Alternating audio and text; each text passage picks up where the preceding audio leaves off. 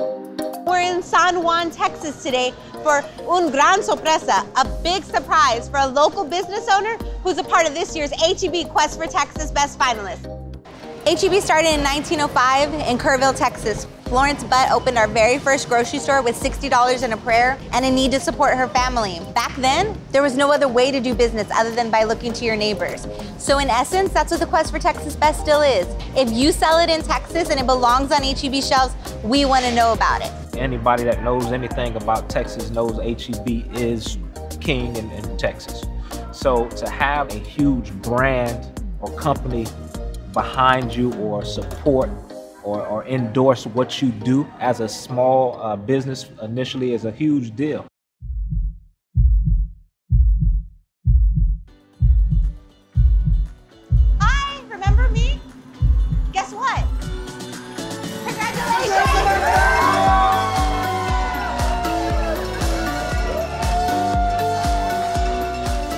For years and years and years, uh, people have been dressing their beers the way that they're dressing them right now.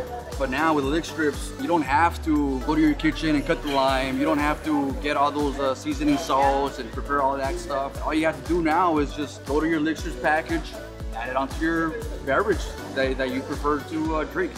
How cool do you think it'll be for like people up in North Texas who don't know how to dress a beer the way we do down here in South Texas? How cool would it be for you to share that eventually one day when it spreads all over Texas? Wow. I mean, when people start to, um, you know, enjoying themselves at their barbecues, at their uh, family re- uh, reunions, at their uh, weekend Sundays when they're watching football. I mean, you know, when other people see that, they're also going to want to experience the whole Lick Strips experience. I don't know about y'all, but I'm ready for a cold one dressed with a lick strip. We've had so much fun in the Rio Grande Valley surprising this year's Quest for Texas Best finalists.